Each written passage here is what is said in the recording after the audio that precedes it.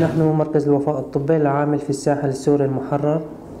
آه، عم نقدم خدماتنا للناس بضمن الأقسام الموجودة من المستوصف منها قسم الأطفال عيادة أطفال عيادة سنية وعيادة نسائية بالإضافة للإسعاف والصيدلية. عم نحاول نقدم خدماتنا للناس. آه، خدمات الخدمات اللي عم نقدمها مجانية طبعا عم نغطي قسم كبير من القرى. ضمن القرية اللي عم نعمل فيها والقرى المحيطة.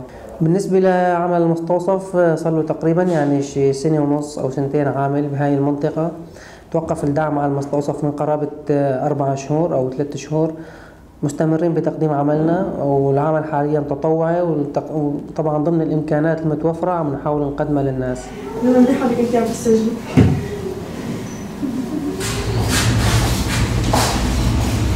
عم يقدموا لنا المساعدات كلها في أسنان وفي نسائية وفي داخلية وفي الأدوية كمان عم يقدموا لنا إياها.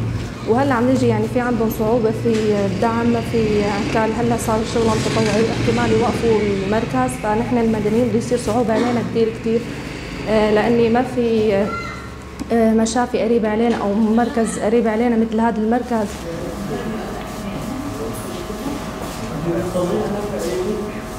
Thank